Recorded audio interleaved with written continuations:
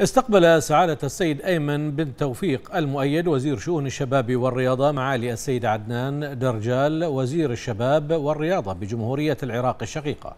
وفي مستهل اللقاء رحب وزير شؤون الشباب والرياضة بنظيره العراقي في بلده الثاني مملكة البحرين مشيدا بالعلاقات الطيبة التي تربط بين مملكة البحرين وجمهورية العراق الشقيقة في شتى المجالات بما فيها الجانب الشبابي والرياضي. ومؤكدا سعادته أهمية اللقاء والزيارة. التي يقوم بها وزير الشباب والرياضة العراقي للبحرين. الأمر الذي يساهم في تعزيز الدور المشترك وتجسيد العلاقات الثنائية بين البلدين.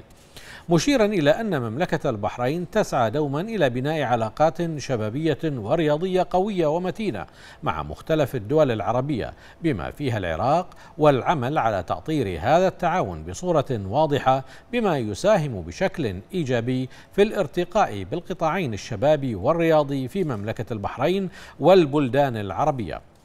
من جانبه ثمن وزير الشباب والرياضة العراقي بالجهود المتميزة التي تبذلها مملكة البحرين في سبيل رعاية الحركة الشبابية والرياضية وما أثمرت عنه من تحقيق منتسبي هذين القطاعين للعديد من الإنجازات الشبابية والرياضية.